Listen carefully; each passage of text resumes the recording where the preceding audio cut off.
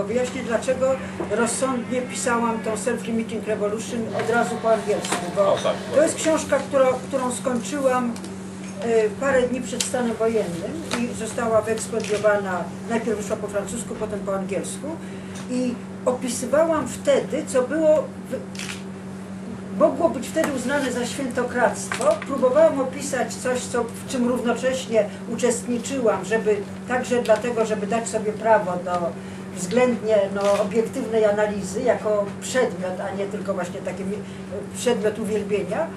Opisywałam, starałam się zrobić z tego wydarzenia także rodzaj teorii i na przykład e, w takiej części, w której próbowałam zrozumieć, jak udało się przezwyciężyć tą, można powiedzieć, totalitarną atomizację, o której Hannah Arendt mówiła, że e, po prostu jest to już niemożliwe, żeby jakąś tkankę społeczną odtworzyć.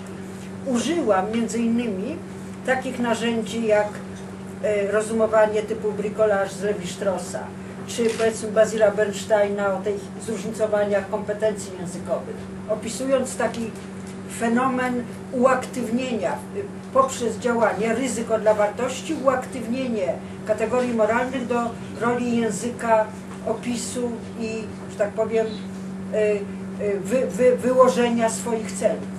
I pokazywałam ograniczenia. Ta książka skończona w grudniu y, 81, ograniczenia tego typu artykulacji, bardzo takim chłodnym okiem i po prostu prawdopodobnie mnie zlinczowano, gdyby to wtedy wyszło po polsku. To wychodzi w tej chwili i, i widać po prostu jak, no i, i co więcej, y, ewidentnie, z, znaczy zrobiłam błąd, do którego się później przyznałam, bo nie zrozumiałam do końca, że odwoływanie się do mitu, bo to się odwoływało do mitu własnej racji, było jedynym sposobem, racjonalnym sposobem, było irracjonalne, ale było racjonalnym sposobem odpowiedzi na inny, irracjonalny mit awangardy.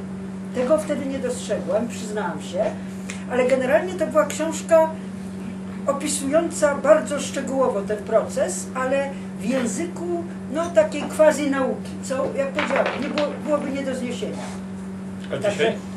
Nie wiem, no po prostu dzisiaj już ja już tyle rzeczy zrobiłam, które uznano, że są nie do zniesienia, że po prostu już w tej chwili jestem mniej wrażliwa, czy jest mi wszystko jedno, jak to będzie. Ale te, teraz już to nie istnieje. Teraz ja otrzymałam, już nie pamiętam nawet w którym roku w stoczni odznaczenie, no musiał być już Lech Kaczyński, więc to musiało być w ciągu ostatnich pięciu lat, odznaczenie w jakąś rocznicę właśnie tego sierpnia i szłam przez ten Gdańsk z dworca kolejowego do stoczni i nikogo już nic nie obchodziło, to był dzień rocznicowy. Także, także ta książka sądzę, ale y, drugi element tej książki to było opisanie mechanizmu, bo interesowało mnie jak komunizm mógł się reprodukować przez tyle lat, będąc absurdalny.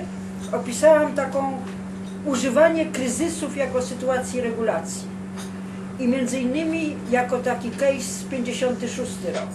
A ponieważ to była książka, która miała umowę podpisaną we Francji i w Stanach, e, wiedziałam, że jeżeli napiszę po polsku i trafi do emigracyjnego polskiego e, recenzenta, tak jak trafiło zresztą do Krzysia Pomiana, to, to zostanie odrzucone. Ale trafiło w, w francuskie do Krzysia Pomiana, który to kwestionował ze względu na swoją biografię, więc Jacques Potel, który pracował wtedy w ambasadzie francuskiej w Warszawie, ale pisał też wstęp, zwrócił się do pani Brystygierowej, która, tak, Nowe, nowe. która była jedną, że tak powiem, po drugiej stronie, no ten rytuał. I ona w recenzji, już wtedy wydawała książki podziemne w Paryżu, zresztą w kulturze, jako Price, więc się do niej zwrócono i ona napisała, że było tak i jeszcze bardziej. I wydawnictwo naukowe poważne wy, wydało.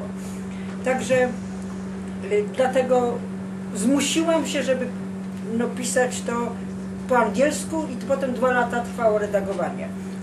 Ale dzisiaj chcę mówić o czymś innym, o czymś, co już jest właściwie przeszłością, a co było tak przedmiotem mojej fascynacji przez ostatnie, powiedzmy, ostatni rok. E, Nie z perspektywy, zawsze mi to się zarzuca, nie dalej jak wczoraj miałam spotkanie w Śródmiejskim Domu Kultury w Warszawie. I właśnie ktoś wystąpił, że powiedział, że nie tylko mówię niezrozumiale, ale nie wiadomo z jakich pozycji. Tylko zawsze to jest tak jak gdyby z lotu ptaka. I podobnie ta książka Antropologia Władzy w pierwszej części poświęconej traktatowi lizbońskiemu mówi o tym traktacie. Nie z perspektywy, co to robi dla suwerenności, bo wiadomo, już suwerenność podziel, podzielona jest, jest faktem, ale na czym polega innowacyjność tej formuły władzy. I, i, i mo, moja koncepcja, rekonstrukcja, która sądzę, że, że jest dość trafna, z, bo, między innymi w dniu, w którym wprowadzano traktat lizboński, w dzień, w którym wszedł w życie, e, no, brałam udział w takiej sesji organizowanej przez e, Katedrę Prawa Europejskiego, którą pobarczył, odziedziczył profesor Nowak Far, Artur Nowak, to jest najlepszy w tej chwili specjalista od prawa europejskiego i on, no po przeczytaniu tej książki właśnie, i zrekonstruowałam tam traktat lizboński jako nowatorską metodę radzenia sobie ze złożonością, jaką stała się Unia po rozszerzeniu, która już nie jest systemem, który można uporządkować hierarchicznie. Tak jeszcze jak kilka lat wcześniej próbowano, e, e, dopasowując, ujednolicając struktury, stosując to, co w innej książce wcześniej nazwałam przemocą strukturalną. Traktat lizboński napisałam tam w tej książce, jest takim y, dokumentem, nazwałam go zresztą neokantowskim i zaraz wyjaśnię dlaczego. Y, mianowicie uznaje, że tożsamość tej rozszerzonej, złożonej Unii właściwie sprowadza się do dwóch elementów. Po pierwsze, y, uznaje się, że Europa jest, Unia jest taką przestrzenią, w której na zasadzie synkretycznej, czyli bez próby syntezy czy ujednolicenia, występują różne systemy wartości, które pozostają przynajmniej w napięciu, no typu wolność, godność i tak dalej, między sobą, ale które są równoprawne.